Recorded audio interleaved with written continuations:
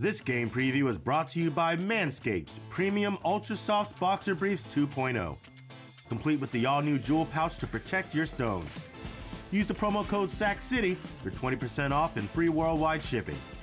Manscaped, the perfect tools to protect your jewels. Jacksonville Jaguars traveling over to Los Angeles to take on the Chargers. The Chargers are seven point favorites in this game with an over under of, of 47 and a half points. The Chargers have never, ever, ever in their history lost to the Jacksonville Jaguars at home. They're 5 and 0, and all those wins, all by double digit margins.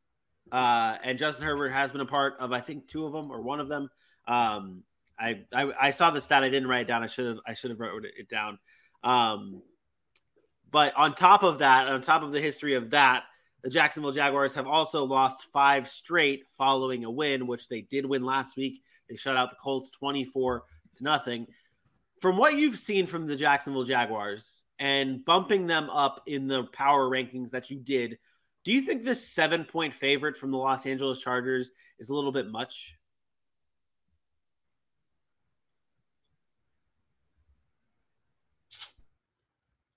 Uh, I like I like the number.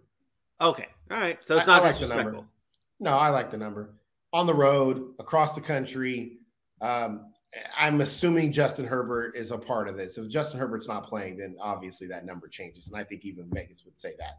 Uh, but I think that's an encouraging sign that he, he's likely to play. Um, I like the number. I think a touchdown is fair. Um, look, and despite what Jacksonville was able to do to the Colts, the Chargers offense is a lot more explosive. We don't know if Keenan Allen's going to be back, but they have an explosive offense. They have weapons on the field.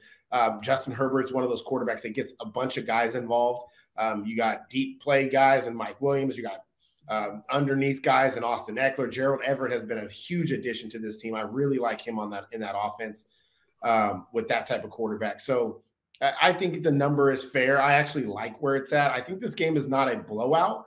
I think the Chargers win.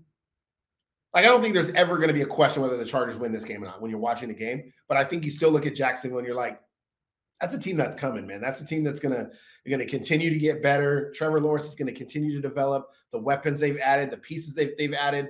Um, pieces that people were laughing at in the offseason, the Christian Kirks, James Robinson's not the guy, it's Travis Etienne. Those guys have proven that they have stepped up and they're filling the role that we thought they could, um, at least here on this show, because I believe everybody here was on board with the James Robinson train and the, the Christian Kirk being um, being a thing. So I, I like where Jacksonville's going. I think this is just kind of a mismatch, and I don't think they're quite to the Chargers level yet. Um, despite what I feel about the Chargers, I think they still have some glaring holes, but I, I, think they I think they are a little bit more ready for this moment than than Jacksonville is. Yeah, yeah, I think I think you nailed it right there with the fact that the Jacksonville Jaguars are just not there yet, um, and the Chargers are there, and maybe not there on the level of like the Chiefs and the Bills yet, um, but the Chargers are much closer and much farther ahead uh, than the Jacksonville Jaguars, and I do think that this is a a, not a setback game for the Jaguars, but after shutting out the Colts last week, 24 to nothing, I do think the Chargers end up winning this game and give me the Chargers 35, the Jaguars 21. I don't think it's that high scoring. I think it's going to be. Uh, I'll take the Chargers with with knowing Justin Herbert's banged up. I think they protect him a little bit.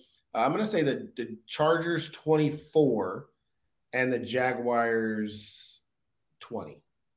Okay, much closer. I would I would be very happy about that close game. AJ has the Jaguar or the Chargers 34-21. Doesn't mean the game is close, by the way. Um, I, I, I would probably put that score at 24-20, but like Jaguars down 24-13 late, they draw, you know, trying to get some garbage points, gets the touchdown, that type of thing. Um, let's see if Dylan picks. Dylan does not have the Jags game on here? I don't have a Dylan pick. He has no Jags game on here. Dylan does not have a Jaguars pick. What a guy! Can't even pick his own team.